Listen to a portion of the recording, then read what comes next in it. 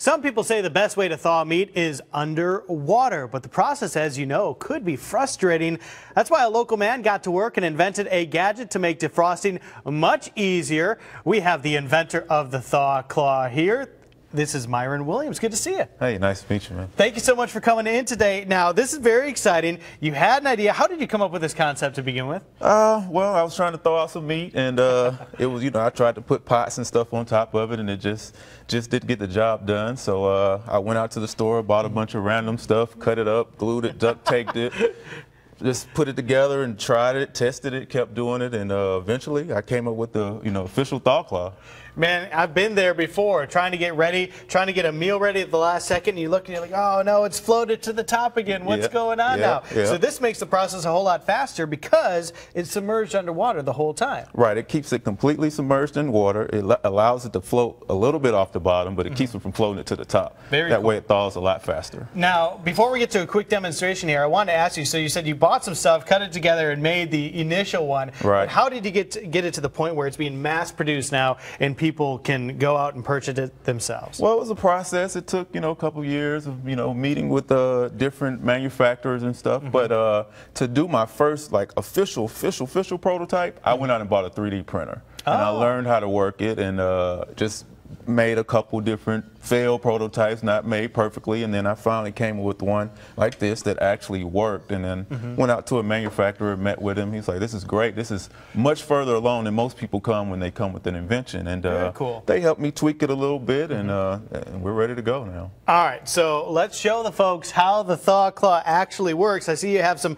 frozen meat here for us, so let's do a little demonstration. All right, so like you know, you just saw earlier, she was making some meatballs. So say you want to make those in a hurry, you had yep. this ground beef and it was frozen, you forgot to take it out. Of course, you don't want to use the microwave. You know what the microwave will do to yes, it. Definitely. It'll ruin it. So you'll take your thaw claw. It's got a strong suction cup on the bottom. Okay. You would attach it. We already have water in this aquarium for, you know, for television, of course, but right. you would attach it first to your sink or the container. Then you would fill it up with about six inches of lukewarm water. Mm -hmm. Take your meat, just put it under the arms, and there you go. As you can see, it floats slightly off the bottom, but it doesn't float to the top. So therefore, it thaws completely evenly. This meat with thawed ground beef, 15, 17 minutes is ready to go, completely thawed from completely frozen. And that is the key, keeping it submerged underwater the entire time.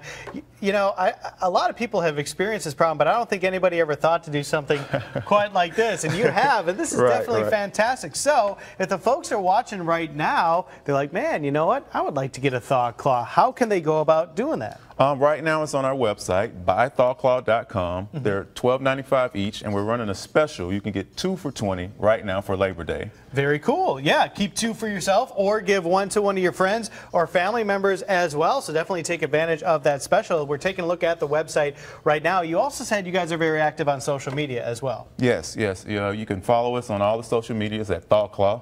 We're uh, every Instagram, Twitter, Facebook. Mm -hmm. It's ThawClaw. Just uh, definitely like us and follow us.